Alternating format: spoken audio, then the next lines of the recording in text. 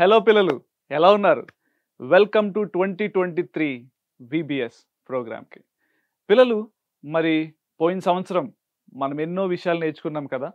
ఎన్నో లెసన్స్ విన్నాం. Sam sir చేసిన ఎన్నో ప్రోగ్రామ్స్ మనం చూసాం కదా? మరి ఈ సంవత్సరం కూడా మనం చాలా ఆడంబరంగా మరి ఈ సంవత్సరం కూడా మనం ప్రారంభించుకున్న విబిఎస్ ప్రోగ్రామ్ని మీ ఫ్రెండ్స్ని కూడా మీరు తీసుకొచ్చినట్టు నాకు అనిపిస్తుంది. చాలామంది కొత్త ఫ్రెండ్స్ కూడా కనిపిస్తున్నారు. పిల్లలు మరి ఈరోజు ఒక కొత్త లెసన్తో మీ ముందుకు రాబోతున్నాను. ఆ లెసన్ పేరేంటో తెలుసా? చూడండి పిల్లలు మీకు కనిపిస్తున్న పక్కన భక్తి మరియు భక్తిహీనత. పిల్లలు ఒక చిన్న ప్రార్థన చేసుకుందామా? మనం పాఠం ప్రారంభించుకుందాం. మహాపరిశుద్ధుడా ఏసయ్య నీకు వందనాలు స్తోత్రాలు చెల్లిస్తున్నాం. ఈరోజు మేము వినబోయే పాఠం ద్వారా మాతో మాట్లాడండి. ప్రతి ఒక్క చంటిబిడ్డ హృదయాన్ని మీ చేతికి అప్పగించుకుంటూ వారిలో నువ్వు మాట్లాడబోయే విషయాలు వాళ్ళ హృదయాలు కదిలించే విధంగా వాళ్ళ జీవితాలు మార్చే విధంగా ఉండడానికి సహాయం చేయమని ఏసు పరిశుద్ధనాములు ఈ ప్రార్థనడు వేడుకుంటున్నాము తండ్రి. ఆమె పిల్లలు మీకు తెలుసా? భారతదేశం రెండు భాగాలుగా విభజించబడింది. లేకపోతే రెండు భాగాలుగా పిలువబడుతుంది. ఒకటి దక్షిణ భారతదేశం ఇంకొకటి ఉత్తర భారతదేశం. మీకు తెలుసా విషయం? తెలిసే ఉంటుంది పిల్లలు మీ స్కూల్లో కూడా చెప్తూ ఉంటారు. పిల్లలు అలాగే మీకు ఇజ్రాయెల్ అనే దేశం ఎప్పుడైనా విన్నారా పేరు? ఇజ్రాయెల్ అనే దేశానికి కూడా రెండు భాగాలుగా విభజించారు పిల్లలు. ఒకటి ఇజ్రాయేలు అంటారు. మరొక భాగాన్ని యూదా అంటారు. తెలుసా ఈ విషయం మీకు? పిల్లలు అప్పట్లో ఇజ్రాయెల్ దేశాన్ని వేరుగా పరిపాలించేవారు యూదా దేశాన్ని వేరుగా పరిపాలించేవారు. ఇజ్రాయెల్ దేశాన్ని కొంతమంది రాజులు పరిపాలిస్తే యూదా రాజ్యాన్ని కొంతమంది రాజులు పరిపాలించారు. అలా పరిపాలించిన వారిలో ముఖ్యంగా యూదా దేశాన్ని పరిపాలించిన వారిలో ఆహాజు రాజు ఒక ముఖ్య పాత్ర వహించాడని మనం చెప్పుకోవాలి. ఎందుకో తెలుసా పిల్లలు? ఈ ఆహాజు రాజు చాలా మూర్ఖుడు. ఇంకో విధంగా చెప్పాలంటే దేవునికి వ్యతిరేకమైన పనులు చేసాడు అలాగే తన ప్రజల్ని ఎవరైతే తన పరిపాలనలో ఉన్నారో ఆ ప్రజలందరి చేత కూడా చేయించాడు. చాలా భయంకరమైన జీవితాన్ని జీవించాడు పిల్లలు ఆహాజు. దేవుడు వాటిని ఇష్టపడలేదు. ఎలాంటి పనులు చేశాడంటే దేవుడికి ఇష్టం లేని విగ్రహారాధనని ప్రోత్సహించాడు. ఎవరు దేవుని మందిరానికి రాకుండా వాళ్ళని అడ్డగించేవాడు. దేవుని మందిరంలో జరిగే ప్రతి విధమైన పరిచర్యల్ని ప్రతి విధమైన ప్రార్థనల్ని అన్నిటినీ ఆపించేశాడు. పూర్తిగా ఎక్కడ చూసినా సరే పూర్తి స్వేచ్ఛను ప్రజలకు ఇచ్చేశాడు. చెట్లైనా పూజించండి రప్పలైనా పూజించండి రాళ్ళను పూజించండి మీ ఇష్టం అని వాళ్ళని వదిలేశాడు. దేవుడిచ్చిన ఆజ్ఞలు మర్చిపోయి వాళ్ళని సృష్టించిన దేవుడిని మర్చిపోయి వాళ్ళు పూర్తిగా విగ్రహారాధనలోకి వెళ్ళిపోయారు పిల్లలు. ఎంత బాధాకరమైన విషయం కదా! దేవుడు ఒక ప్రాంతం మీద తన పరిపాలన చేయమని అవకాశం ఇస్తే చివరికి ఆహాజు దేవుడి మీదే వ్యతిరేకంగా ఉండేలా తన ప్రజల్ని ప్రోత్సహించాడు. కానీ కొంతకాలానికి ఆ ప్రాంతం అంతా కూడా భక్తిహీనతలోకి వెళ్ళిపోయింది పిల్లలు. దేవుడంటే భక్తి లేదు భయం లేదు ఎవరికి ఇష్టం వచ్చినట్టు వారు బతికేవారు పిల్లలు. కొంతకాలం తర్వాత ఆహాజు మరణించాడు. ఆహాజు మరణించిన తర్వాత ఇంకొక వ్యక్తి వచ్చాడు పిల్లలు. ఆ వ్యక్తి ఎవరో తెలుసా? ఆహాజు కుమారుడైన హిస్కియా హిస్కియా కూడా మనం ఏమనుకుంటామంటే వాళ్ళ నాన్నలాగే ఉంటాడేమో వాళ్ళ నాన్నలాగే పూర్తిగా ప్రజలందరినీ మళ్ళీ విగ్రహాలలో తీసుకెళ్తాడేమో అనుకుంటాం కానీ హిస్కియా మాత్రం చాలా ప్రత్యేకంగా పెంచబడ్డాడు. హిస్కియా చిన్నప్పటి నుంచి దేవుని మాటలతో పెంచబడ్డాడు. చిన్నప్పటి నుంచి దేవుని యొక్క సన్నిధిలో ఎరగడం స్టార్ట్ చేశాడు. అందుకే ఏం జరిగిందంటే వాళ్ళ నాన్నలాగా మూర్ఖమైన ఒక మార్గంలో కాకుండా ఒక మంచి ప్రవర్తన గలవాడిగా హిస్కియా పేరు పొందుకున్నాడు పిల్లలు. హిస్కియాకి ముఖ్యంగా ప్రార్థన అంటే చాలా ఇష్టం. ఎందుకు నేను ఈరోజు ప్రార్థన కోసం చెప్తున్నానంటే ఈరోజు మన థీమ్ని మీరు ఇంకొకసారి గుర్తు చేసుకోవాలి. ఆల్రెడీ మీకు తెలిసే ఉంటుంది. ఈ సంవత్సరం మన థీమ్ ఏంటి పిల్లలు? చెప్పండి గట్టిగా. వెరీ గుడ్ అన్వేషణ. పిల్లలు అన్వేషణ అంటే ఏంటి? సపోజ్ ఒకవేళ మనకు ఒక వజ్రం మనం విలువైన ఒక వజ్రం కొనుక్కున్నాం. అది పోయింది. దాన్ని వెతకాలంటే మనం ఏం చేస్తాం? మన సాయి శక్తులు ఉపయోగించి మన బలాన్ని ఉపయోగించి మన డబ్బులు ఉపయోగించి ఏం చేస్తాం? వజ్రం ఎక్కడ పోయిందని వెతుక్కుంటూ వెళ్తాం. దాన్ని ఏమంటారంటే అన్వేషణ అంటారు. ఈరోజు రెండు రకాలైన అన్వేషణలు జరుగుతున్నాయి పిల్లలు. ఒకటి దేవుడు మన కోసం చేస్తున్న అన్వేషణ. బైబిల్లో ఏమని రాసిందంటే నశించిపోయిన దాన్ని వెదకి రక్షించడానికి మనిషి కుమారి లోకానికి వచ్చాడంట. నశించిపోయిందంటే మనమే పిల్లలు. పాపం చేత మన దూరం అయిపోయిన మనల్ని ఏసయ్య మనుష్య రూపుడిగా ఈ లోకానికి వచ్చి మనలందరినీ రక్షించడానికి ఆయన మనల్ని వెతుక్కుంటూ వచ్చాడు. రెండో ఎవరు వెతుకుతున్నారో తెలుసా? మనమే. ఎవరి కోసం వెతకాలి? దేవుని కోసం వెతుకుతున్నాం. ఈ రెండు రకాలైన అన్వేషణ గుర్తుపెట్టుకోవాలి. పిల్లలు ఇప్పుడు మనం ఒక విషయం కోసం మాట్లాడుకోవాలి. పిల్లలు మనం ఏదైనా వెతుకుతున్నామంటే మనకు కొన్ని పరికరాలు చాలా ముఖ్యం కదా పిల్లలు. దాంట్లో చాలా ఉంటాయి. కొన్ని మనసార్లు అది చిన్న వస్తువు పోయిందనుకోండి మనం భూతద్దం పెట్టుకుని వెతుకుతాం. కొన్నిసార్లు బైబిల్లో ఉన్నట్టుగా చీపురు పట్టుకొని ఇల్లంతా ఊడుస్తూ వెతుకుతాం. అది చాలా విలువైంది అయితే మరి దేవుని వెతకాలంటే మనకు ఉండవలసిన ఒక ముఖ్యమైన పరికరం ఏంటో తెలుసా పిల్లలు? ప్రార్థన. నిజమే పిల్లలు. హిస్కియా కూడా ప్రార్థన చేయడానికి ఇష్టపడ్డాడు. అందుకే తను ఏ సమస్య వచ్చినా సరే ప్రార్థనతోనే జయించడానికి ఇష్టపడ్డాడు. హిస్కియా ఆహాజు చనిపోగానే ఆ దేశానికి రాజుగా పట్టాభిషేకం పొందాడు. పట్టాభిషేకం పొందగానే తను చేసిన మొట్టమొదటి పన్నెండు తెలుసా? దేవుని మందిరాన్ని శుభ్రపరచాలనుకున్నాడు పిల్లలు. నిజమే. ఆహాజు చేసిన పని వల్ల ఎవరు మందిరానికి రావడం మానేశారు. మరి ఎవరు మందిరానికి రాకపోతే మందిరం ఖాళీగా ఉండి ఏం చేస్తుంది? అందుకే మందిరానికి తాళాలు కూడా వేసేసారు ఎంత బాధాకరమైన విషయం కదా! ఇప్పుడు దేవునికి ప్రార్థనలు చేసేవారు లేరు. ఆయన ఆరాధించేవారు ఎవరు ఆయన మందిరంలో కనబడలేదు. మందిరం బోసిపోయింది ఎక్కడ చూసినా బూజు పట్టేసింది. ఎక్కడ పడితే అక్కడ మురికిగా ఉంది. వెంటనే హిస్కి అనుకున్నాడు. లేదు లేదు. ఈ మందిరాన్ని ఎలాగైనా సరే నేను శుభ్రపరచాలనుకున్నాడు. వెంటనే హిస్కియా తన దగ్గర ఉన్న కొంతమందిని పిలిచి ఆ మందిరాన్ని శుభ్రంగా కడిగించాడు పిల్లలు. దాంట్లో ఏదైతే పేరుకుపోయిందో చెత్త చెదరం అంతా కూడా తీసి పడించాడు. మళ్ళీ ఇంతకు ముందు ఆ మందిరం ఎంత అందంగా ఉండేదో అంత అందంగా మళ్ళీ ఆ మందిరాన్ని హిస్కియా తయారు చేశాడు పిల్లలు. హిస్కియా తయారు చేసిన తర్వాత ఏం జరిగిందో తెలుసా పిల్లలు? తన దేశంలో ఉన్న అధికారులందరినీ సమావేశపరిచాడు. ఒక దగ్గర మీటింగ్ పెట్టాడు. మీటింగ్ పెట్టి ఏం చెప్పాడంటే ఈరోజు మీరందరూ జాగ్రత్తగా వినండి. మీరందరూ దేశ నలుమూలకు వెళ్ళండి. ఒక యూదా దేశంలోనే మాత్రమే కాకుండా పక్కనున్న ఇజ్రాయెల్ దేశంలో కూడా వెళ్ళండి. వెళ్ళి మీకు కనబడిన ప్రతి ఒక్కరికి ఈ వార్త ప్రకటించండి. ఏంటో తెలుసా? త్వరలో మనకి పస్కా పండుగ రాబోతుంది. ఈ పస్కా పండుగని ఇన్ని రోజులు ఇన్ని సంవత్సరాలు మనం చేసుకోలేకపోయాం మన అవిధేయత వల్ల మన పాపాల వల్ల. కానీ ఈసారి మాత్రం దేశమంతా మారుమోగేలా ఈ వేడుకలు మనం జరుపుకోబోతున్నాం. దేశంలో ప్రజలందరికీ చెప్పండి అనగానే అక్కడున్న అధికారులందరూ కూడా హిస్కియా మాట విని వెంటనే దేశంలోకి బయలుదేరారు. కనిపించిన ప్రతి ఒక్కడికి కూడా ప్రకటనలు చేయడం స్టార్ట్ చేశారు. అనౌన్స్మెంట్లు చేస్తున్నారు. మరి ఈ టైంలో మైకులు అయి ఉన్నాయి కానీ ఆ టైంలో మైకులు లేవు. గుర్రాల మీద వెళ్ళడం అందరికీ ప్రకటన చేసేవారు పిల్లలు. ఏం జరిగిందంటే కొంతమంది మాత్రం ఆ పసకా పండుగ ఏం చేస్తారులే మేము రామ్ పో మేము రామ్ పో అని వాళ్ళ ముఖం మీదే వాళ్ళకి రామని చెప్పేశారు. కానీ కొంతమంది అయితే మాత్రం మళ్ళీ పసకా పండుగ ఇన్ని సంవత్సరాల తర్వాత జరుగుతుందా? మేము తప్పకుండా వస్తామని చెప్పి తరలి రావడం స్టార్ట్ చేశారు పిల్లలు. ఇజ్రాయెల్ దేశం నుంచి యూదా దేశం నుంచి ప్రజలందరూ కూడా ఎందుకు వస్తున్నారు తెలుసా? పస్కా పండుగ జరుపుకోవడానికి పిల్లలు. జరుపుకోవడానికి తండోపతండాలుగా వచ్చారు. కూర్చొని దేవుని సంధిలో వాళ్ళందరూ కూడా దేవుణ్ణి ఆరాధించడం స్టార్ట్ చేశారు. పిల్లలు జాగ్రత్త గుర్తుపెట్టుకోండి. ఈరోజు మీకు నాలుగు పాయింట్లు నేను మీ- మీకు చెప్పాలని ఇష్టపడుతున్నాను దాంట్లో మొదటి పాయింట్ ఆరాధన. ఏంటి చెప్పండి పిల్లలు?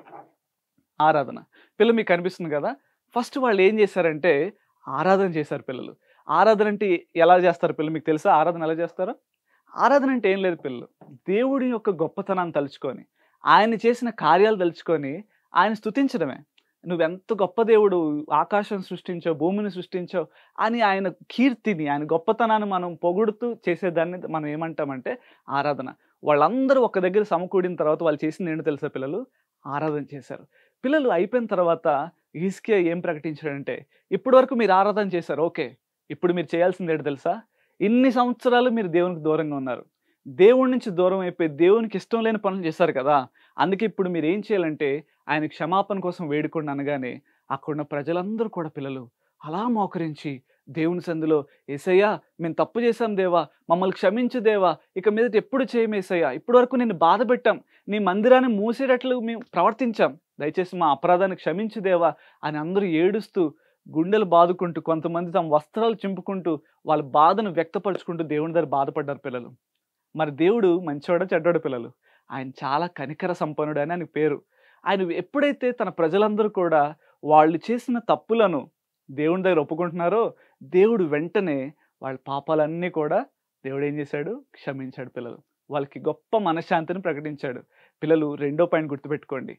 మనం దేవుని సంధిలో ఒప్పుకోవాలి. మొట్టమొదటిగా ఆరాధన చేయాలి ప్రార్థనలో. రెండవదిగా మన పాపాలను ఆయన సంధిలో ఒప్పుకోవాలి పిల్లలు. మూడవదిగా చూసినట్లయితే ఏం చేయాలి తెలుసా పిల్లలు? కృతజ్ఞత చెల్లించాలి. ఎందుకో తెలుసా? ఆయనకు మన ఆయన మనకు మంచి తల్లిదండ్రులను ఇచ్చాడు. ఆహారాన్ని ఇచ్చాడు. ఎంతోమంది దిక్కు లేకుండా రోడ్ల మీద తిరుగుతుంటే మనకు మంచి ఇల్లు ఇచ్చాడు. ఇన్ని చేసిన దేవునికి మనం ఏం చేయాలి తెలుసా పిల్లలు? థ్యాంక్ యూ చెప్పాలి. మీరు చెప్తారా? మీరు ఎప్పుడైనా ప్రార్థన చేస్తారా మీ ఇంట్లో? మీ అమ్మ నాన్నలు కలిసి ఒక దగ్గర ప్రార్థన చేసుకుంటూ ఉంటారు. కానీ మీరు ఏం చేస్తారు తెలుసా? ఫోన్లో వీడియో గేమ్స్ ఆడుకుంటారు. యూట్యూబ్ చూస్తారు. లేకపోతే టీవీ పెట్టుకొని మంచి సినిమా చూస్తారు. కానీ అమ్మా నాన్నలతో కూర్చోవడానికి మాత్రం ఇష్టపడరు. కొంతమంది అయితే ఏం చేస్తారు తెలుసా పిల్లలు? వాళ్ళు తిన్న దగ్గర కూడా దేవుడు గుర్తున్నాడు పట్టుకొని దొరికింది లేట్ అన్నట్టుగా పట్టుకొని తింటూనే ఉంటారు కానీ ఒక్క నిమిషం ఆగి ప్రవ్వా ఈ ఆహారం లేకుండా ఎంతోమంది ఉన్నారు. నాకు ఈ ఆహారం ఇచ్చావు నీకు వందనాలు వేసేయని ఒక మాట చెప్తావా? పిల్లలు ఒకవేళ ఆ అలవాటు మీకు లేకపోతే ఇప్పుడే అలవాటుని ఇప్పుడే స్టార్ట్ చేయండి. ఈరోజే స్టార్ట్ చేయండి. అది చాలా మంచి అలవాటు పిల్లలు. పిల్లలు మూడవదిగా కృతజ్ఞత చెల్లించాలి. నాలుగవదిగా మన అవసరాలను దేవుడు తెలియచేయాలి పిల్లలు. పిల్లలు మూడు అంశాలు మనం చూసేసాం. ఈ చివరిది హిస్కియా లైఫ్లో మనం చూసుకొని ఈరోజు మన లెసన్ కంప్లీట్ చేసుకున్నాం పిల్లలు. పిల్లలు మనకు చాలా అవసరాలు ఉంటాయి. మన అమ్మా నాన్నలకైతే మన స్కూల్ ఫీజులు కట్టాలి. మనకైతే ఎగ్జామ్స్లో మంచి మార్క్స్ రావాలి. మనకు మంచి బట్టలు కావాలి. ఇవన్నీ మన అవసరాలు. కానీ రాజైన హిస్కియాకి ఏ అవసరం ఉంటుంది పిల్లలు? కానీ హిస్కియా ప్రార్థన చేశాడని బైబిల్లో ఉంది తన అవసరాల కోసం. ఏంటో తెలుసు అవసరం? ఇప్పుడు అవసరం ఏంటో మనం తెలుసుకుందాం పిల్లలు. పిల్లలు ఇలా హిస్కియా దేవునికి ఇష్ట ప్రకారంగా జీవిస్తున్న సమయంలో ఒకరోజు అనుకోకుండా పక్కనే ఉన్న అశూరు దేశం నుంచి కొంతమంది సైనికులు ఎరుషలేం మీదకి వచ్చారు పిల్లలు. వీళ్ళెవరో తెలుసా? వీళ్ళు చాలా భయంకరమైన ప్రజలు. వీళ్ళు కంటికి కనబడిన ప్రతి దేశాన్ని వీళ్ళు ఆక్రమించాలని చూస్తారు. అక్కడున్న రాజుని చంపేస్తారు. అక్కడున్న ప్రజలందరినీ బానిసలుగా పట్టుకెళ్ళిపోతారు. వాళ్ళని చిత్రహింసలు పెడతారు. ఇది వీళ్ళు చేసే పని. ఎన్నో దేశాలు అలా సర్వనాశనం చేసి ఇప్పుడు వాళ్ళ కన్ను ఏ దేశం మీద పడిందో తెలుసా? ఎరుషలేం. యూదా దేశం మీద వాళ్ళ కన్ను పడింది పిల్లలు. అప్పటికే ఇజ్రాయెల్లో ఒక భాగమైన ఇస్రాయెల్ని పూర్తిగా వాళ్ళు స్వాధీనపరుచుకున్నారు. ఇప్పుడు వాళ్ళు స్వాధీనపరచుకోవాలని చూస్తున్న దేశం ఏంటో తెలుసా? యూదా దేశం. ఎప్పుడైతే వాళ్ళు ఎరుషలేం దగ్గరికి వచ్చారో అక్కడున్న వారందరికీ భయం పట్టుకుంది. ప్రజలందరూ అయ్యో! వీళ్ళు మూర్ఖులు రా. అరే వీళ్ళు భయంకరమైన వాళ్ళు రా. వీళ్ళు వస్తే మన దేశం పాడైపోతుంది.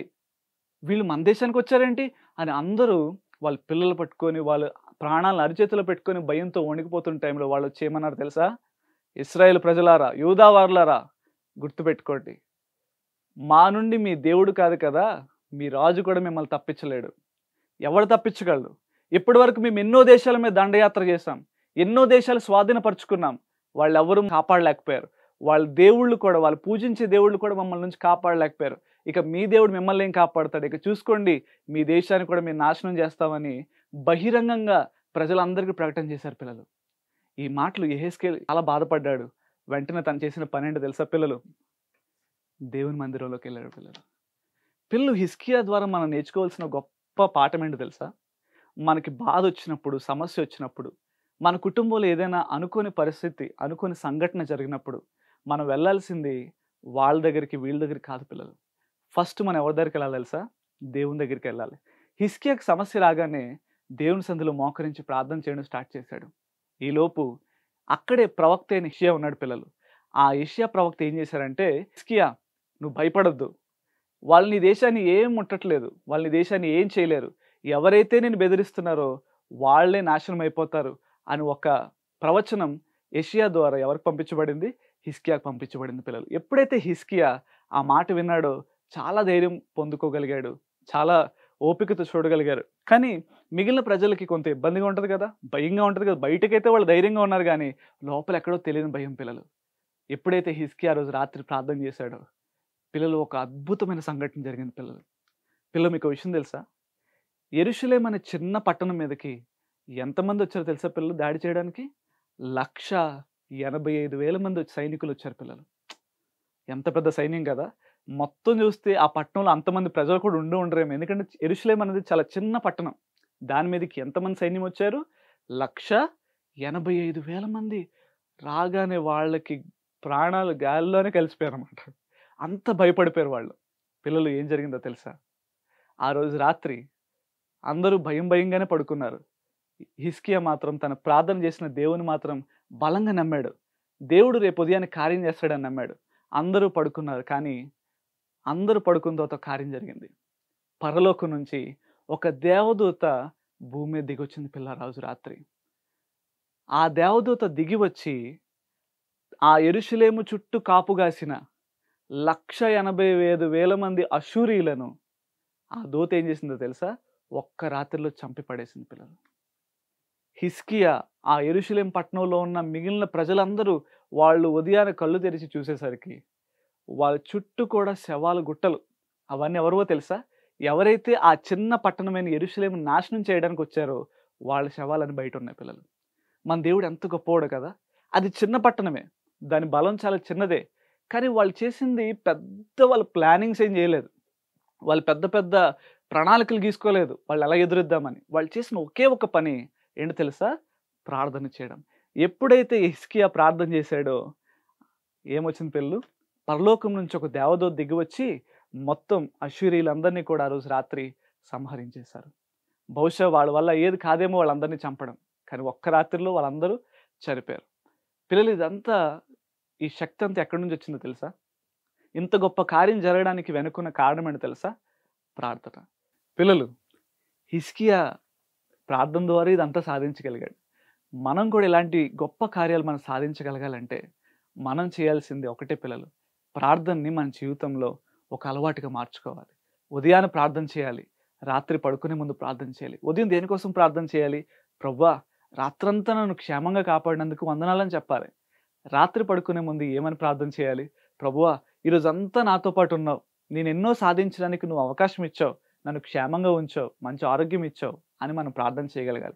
పిల్లలు ఈరోజు హిస్కియా నాలుగు విధాలుగా ప్రార్థన చేయడం ప్రార్థనలో నాలుగు రకాలుగా ప్రార్థన చేయడం మనం చూసాం. ఈరోజు ఆ నాలుగు విషయాలు మనం కూడా నేర్చుకొని మనం ఈరోజు ఈ పాఠాన్ని ముగించుకుందాం పిల్లలు. పిల్లలు చూడండి మొట్టమొదటిగా హిస్కియా చేసింది ఏంటో తెలుసా? తను ఆరాధన చేశాడు. తన ప్రజలందరిని సమకూర్చి ఏం చేశాడు? ఆరాధన చేశాడు. దేవుడు ఏమై ఉన్నాడో దేవుడు ఎంత గొప్పవాడు ఆయన పొగడ్డమే ఆరాధన. తర్వాత హిస్కియా చేసిన విషయం ఏంటో తెలుసా పిల్లలు? ఒప్పుకున్నాడు. తను ఒప్పుకోవడం మాత్రమే కాకుండా తన దేశంలో ఉన్న ప్రజలందరి చేత వాళ్ళు అప్పటి వరకు చేసిన తప్పులన్నీ కూడా దేవుని దగ్గర దగ్గర ఒప్పుకొనిలా చేశాడు. తను కూడా తన పాపాలని దేవుని ఎదుట ఒప్పుకున్నాడు. మూడవదిగా పిల్లలు కృతజ్ఞతలు చెల్లించాలి. మనం దేవుడు మనకిస్తున్న ప్రతి దినము మన అవసరాలు తీరుస్తున్నాడు దేవుడు. తీర్చిన ప్రతి అవసరాన్ని బట్టి మనం ఆయనకు కృతజ్ఞత చెల్లించాలి. థ్యాంక్ యూ చెప్పాలి. మంచి ఆరోగ్యాన్ని బట్టి అమ్మా నాన్నలు బట్టి ఆహారాన్ని బట్టి మంచి వస్త్రాలు బట్టి మంచి స్నేహితులు బట్టి మంచి తల్లిదండ్రులు బట్టి అన్నిటి బట్టి కూడా మన దేవునికి కృతజ్ఞతలు చెల్లించాలి. చివరిదిగా ఆయన్ని మన అవసరాలు అయితే ఏదైతే ఉన్నదో అది అడగాలి. హిస్కి అడిగాడు దేవుని సందులో.